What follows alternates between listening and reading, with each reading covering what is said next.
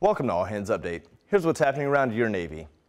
The Navy accepted delivery of future USS Zumwalt DDG-1000, the lead ship of the Navy's next generation of multi-mission surface combatants. The Zumwalt is scheduled to be commissioned fall 2016 and homeported at Naval Base San Diego. Coastal Riverine Squadron 4 conducted well deck operations with the Mark 6 patrol boat for the first time aboard the amphibious assault ship USS Bataan.